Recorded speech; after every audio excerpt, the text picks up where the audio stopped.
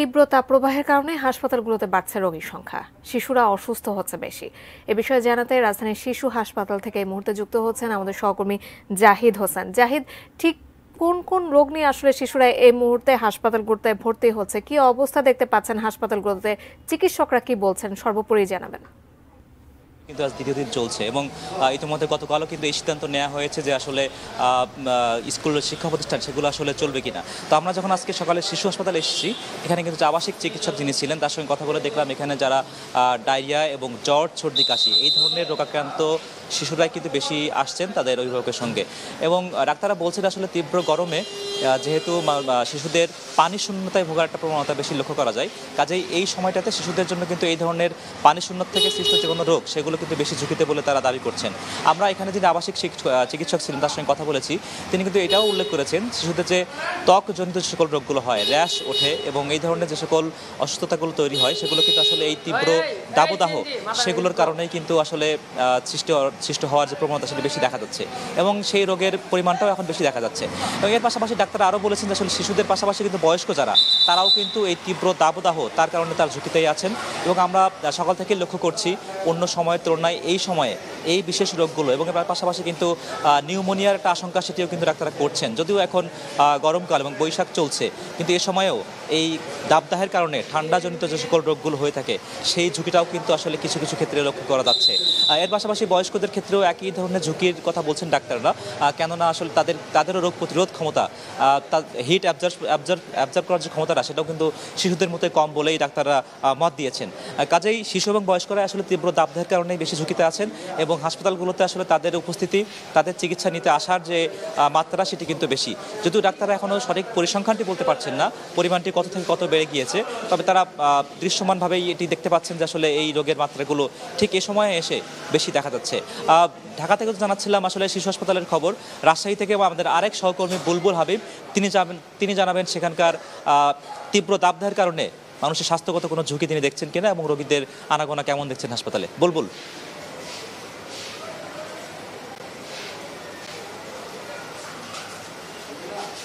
ধন্যবাদ জাহিদ। আমাদের সহকর্মী ঢাকা শিশু হাসপাতাল থেকে এতক্ষণ এই যে আহ, প্রচণ্ড তাপদাহের কারণে যে অসুস্থ হয়ে শিশুরা ভর্তি হচ্ছে তার খবর জানাচ্ছিলেন। আমাদের রাজশাহীতে আসলে গতকাল সর্বোচ্চ তাপমাত্রা রেকর্ড করা হয়েছিল একচল্লিশ দশমিক পাঁচ ডিগ্রি সেলসিয়াস যেটাকে আসলে এই মৌসুমের সর্বোচ্চ তাপমাত্রা বলা হচ্ছে। এবং আজকে সকাল দশটাতেই কিন্তু তাপমাত্রা বেড়ে সাঁত্রিশ ডিগ্রি সেলসিয়াসে দাঁড়িয়েছে। অর্থাৎ হচ্ছে সারা দুপুরের দিকে যেহেতু বিকেল তিনটার দিকে সর্বোচ্চ তাপমাত্রা রেকর্ড করা হয়। আসলে গতকালের মতোই যে তাপমাত্রাটা হবে সেরকমটাই বলছেন আসলে আবহাওয়া অফিস এই যে আহ, তাপমাত্রায় তাপমাত্রার কারণে আমরা দেখেছি যে পুরো জনজীবন রাজশাহীর যে জনজীবন সেটা কিন্তু একদম বিপর্যস্ত হয়ে পড়েছে। ঘরে বাইরে আসলে মানুষজন কোথাও স্বস্তি পাচ্ছে না। তারপরেও আসলে খুব প্রয়োজন ছাড়া এই গনগনে উত্তাপের মধ্যে মানুষজন বের হচ্ছে না দিনের বেলায়। এবং আমরা রাত্র সন্ধ্যার সময়ও দেখেছি যে আসলে খুব কম মানুষজনকে বাহিরে বের হতে। অর্থাৎ হচ্ছে যে একদম এই তাপপ্রবাহের কারণে যে অতিষ্ঠ, সে অতিষ্ঠ হয়ে পড়েছে জনজীবন এবং প্রচণ্ড পরিমাণে মানুষজন কিন্তু অসুস্থ হচ্ছে এবং হাসপাতালে ভর্তি হচ্ছে। বিশেষ করে ডায়রিয়া সহ যে সর্দি, কাশি, জ্বর এই রোগে আক্রান্ত হয়ে হাসপাতালে ভর্তির প্রবণতাটা বেড়েছে আগের তুলনায়। এটা শিশু ওয়ার্ডে বিশেষ করে। তবে হিটস্ট্রোকে আক্রান্ত রোগীর সংখ্যা এখনও ঠিক ঠিক সেভাবে বাড়েনি। আমি মেডিসিন ওয়ার্ডে কথা বলেছিলাম, তবে এটার সমূহ সম্ভাবনা রয়েছে। এই জন্য আসলে বিশেষজ্ঞরা বলছেন যে আসলে খুব কম বাহিরে বের হওয়ার জন্য এবং খুব প্রয়োজনে ছাড়া বাইরে বের না হতে এবং বেশি বেশি করে পানি পান করা বা অন্যান্য যে প্রোটেকশন রয়েছে আসলে এই সূর্যের উত্তাপ থেকে রক্ষা পাওয়ার জন্য, সেগুলো নেওয়ার জন্য আসলে এই বিশেষজ্ঞরা বলছেন এবং শ্রমজীবী এবং বা যারা দিনে মজুর বা খেটে খাওয়া মানুষজন আছে তাদেরকে বিশেষ করে বলছেন যে সকালের দিকে এবং বিকেলের দিকে কাজ করার জন্য দুপুরে করলেও সেটা যেন আসলে খুব নিরাপত্তা বা সুরক্ষা সামগ্রী নিয়েই যেন কাজ করে, সেটার কথা কথা বলছেন তো আমরা এখন যাব আসলে পাবনাতে। সেখানে আমাদের সহকর্মী রিজবি জয় রয়েছেন। তিনি সেখান থেকে আসলে সেখানকার যে তাপদাহের খবর, সেটা জানাবেন। আপনি যেমনটি বলছিলেন যে রাজশাহীর পরিস্থিতি ঠিক একই রকম পরিস্থিতি কিন্তু পাবনায়।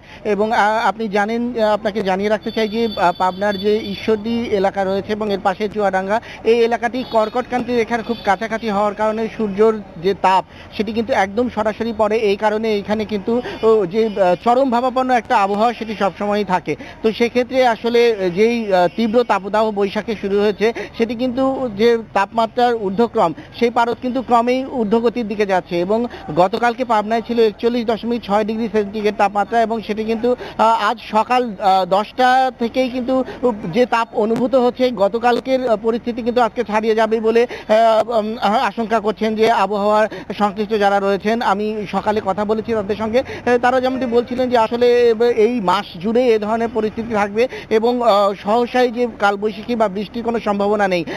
এই কারণে আসলে গত কয়েকদিন ধরে জনজীবন কিন্তু একেবারেই অতিষ্ঠ হয়ে পড়ছে। আমরা কিন্তু দেখছি যে এই আশেপাশের যে রাস্তা সেখানে কিন্তু লোক সমাগম একই একেবারেই কম এবং সেখান থেকে কোনো ক্রমে যদি কেউ কাজে বের হন, এই আশেপাশের যে ছায়াযুক্ত যে জায়গাগুলো রয়েছে, সেখানে কিন্তু আসলে তারা পরিশ্রান্ত হয়ে ক্লান্তি জুড়িয়ে নেওয়ার চেষ্টা করছেন।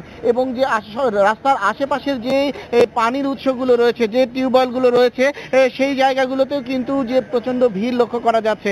এবং এই বৃষ্টি না থাকার কারণে প্রত্যেকটি জায়গায়, কিন্তু এখন এই যে সেচের সময়, যে কৃষি প্রধান এলাকাগুলোতে সেচ কাজ চলছে, তো সেক্ষেত্রে আসলে পানির লেয়ার খুব দ্রুতই নেমে যেতে পারে বলে মনে করছেন সংশ্লিষ্টরা। আমি পাবনার কৃষিবিদদের সঙ্গে কথা বলেছি, তারা বলেছেন যে যে এখন যে পরিস্থিতি, তাতে আসলে প্রখর রোদে ধান এবং পাবনায় কিন্তু লিচু সমৃদ্ধ একটি এলাকা, এই ধরনের ফসলগুলোতে কি এখন প্রচুর বারে বারে সেচ দিতে হবে এবং সেটি কিন্তু লোডশেডিং তেমন না থাকার কারণে সেচ কাজ কিন্তু চলছে। তবে বৃষ্টি না থাকার কারণে কিন্তু যে কোনো এই পানির লেয়ার ক্রমাগত নিচের দিকে নেমে যাচ্ছে এবং সামনের দিনগুলোতে আসলে পানির সংকটও তৈরি হতে পারে। আমরা এই যে আমরা দেখতে পাচ্ছি যে এখানে পাবনা শহরে জয়কালী বাড়ি মোড় এলাকার যে পাশের একটি গলি এখানে সবুজ গাছের ছায়াযুক্ত একটি স্থান রয়েছে এবং সেখানে সেখানে কিন্তু যারা কাজে বের হয়েছেন, বিশেষ করে ঔষধ কোম্পানি বিক্রয় প্রতিনিধি থেকে শুরু করে যাদের রোদের মধ্যে কাজ করতে হয়, তারা কিন্তু কোনো রকমে একটু বের হলেই ক্লান্ত হয়ে পড়ছেন এবং এই রকম জায়গাগুলোতে এসে নিজেদের শান্তি জোরানোর চেষ্টা করছেন। তবে আসলে খুব বেশি যে লাভ হচ্ছে তা কিন্তু নয়। এখানে আজকে পাবনা জেনারেল হাসপাতালে শিশু ওয়ার্ডে কিন্তু ধারণ ক্ষমতা বিয়াল্লিশটি শয্যা রয়েছে। সেই শয্যার বিপরীতে একশো ছাপ্পান্ন জন কিন্তু রোগী ছাড়িয়ে বারান্দা সব জায়গায় কিন্তু রোগী একেবারে মারাত্মক আকার ধারণ করেছে। তো এই ধরনের পরিস্থিতিতে সহসাই মুক্তি না মেলায় চিকিৎসকরা কিন্তু নিরাপদ অবস্থানে থাকা এবং বারে বারে শিশুদের তরল খাবার খাওয়ানোর জন্য পরামর্শ দিয়েছেন। আমরা এখন চলে যাব গাজীপুরে। সেখানে রয়েছেন আমাদের প্রতিনিধি মাসুম। তিনি জানাবেন গাজীপুরে পরিস্থিতি। বিজয়, আমি এই মুহূর্তে রয়েছি গাজীপুর শহীদ তাজউদ্দিন মেডিকেল কলেজের সামনে। কয়ে- বেশ টানা কয়েকদিন যাবৎ প্রচণ্ড তাপদাহে মানুষের জনজীবন অতিষ্ঠ হয়ে পড়েছে। বিভিন্ন রোগের আক্রান্ত হচ্ছেন। আমরা দেখেছি যে ডায়রিয়া সহ নানা ধরনের রোগে আক্রান্ত হচ্ছে। কেউ কেউ প্রশান্তির জন্য সুইমিং পুল পুকুরে সাঁতার কাটছে। চাহিদা বেড়ে গেছে কোমল পানীয় এবং ডাবের। আমি মেডিকেল কলেজ হাসপাতালের পরিচালকের সাথে কথা বলেছি। তিনি জানিয়েছেন যে শিশুরা বেশি আক্রান্ত হচ্ছে পানি শূন্যতা রোগে এবং বিভিন্ন রাস্তাঘাটে আমরা দেখেছি যে বিভিন্ন জায়গায় পিস পর্যন্ত উঠে গেছে প্রচণ্ড গরমে। ইতিমধ্যে দুজনের হিট স্ট্রোকে দুজনের মৃত্যু হয়েছে গাজীপুরের রাজনীতিপুর সেনানিবাস এলাকাতে। আমরা গতকালকে সেই নিউজও করেছিলাম। আজকে তাপমাত্রা আরও একটু বৃদ্ধি পাবে দুপুরের দিকে সেই তথ্য আমরা জেনেছি। এক কথাতে মানুষের জনজীবন বিপর্যস্ত হয়ে পড়েছে এবং যে যেভাবে পারছে তা এই তাপদাহ থেকে বাঁচার জন্য কেউ পাপ পানিতে নামছেন, কেউ গাছের নিচে অবস্থান করছেন। অর্থাৎ জনজীবন যথেষ্ট হয়ে উঠেছে, এ, ঘন ঘন বিদ্যুৎ বিভ্রাটও ঘটছে, যে কারণে মানুষ কিন্তু আরও অস্বস্তিতে ভুগছেন। জাকিয়া, এই ছিল আমার কাছে গাজীপুরে যে তাপদায় যে জনজীবন অথেষ্ট তার সর্বশেষ খবর।